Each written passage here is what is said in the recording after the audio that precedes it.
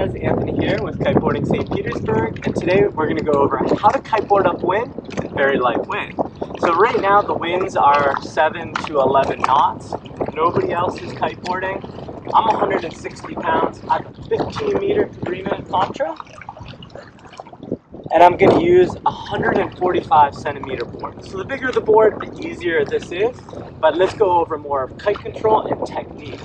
So the key to this will be getting the kite to go deep into the wind window. So when I initiate a water start, if I'm going to the right, I'll bring the kite to the left slightly and dive the kite more aggressively. Pull the bar in, dive it very aggressively to get the kite to go deeper into the wind window.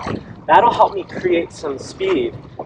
Now I'm gonna edge as well. As soon as I get up, I'm gonna edge, but not too hard because if I edge too hard, I'm gonna cut my power source off.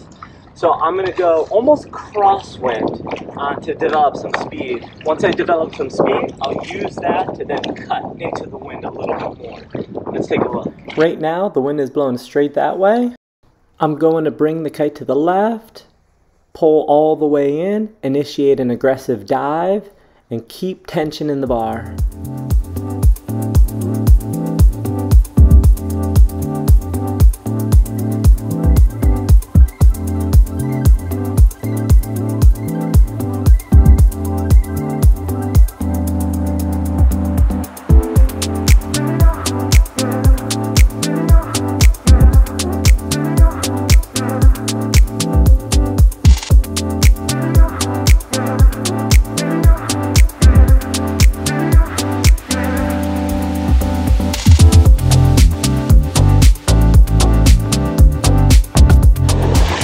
Short tack, but still made it upwind. So another key point to focus on is keeping tension. So once you have speed and light winds, you want to maintain that speed, maintain your tension in the bar.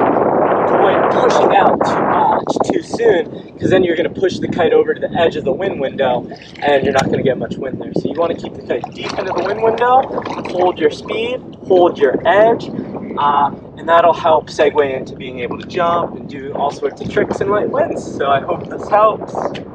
Thank you for watching.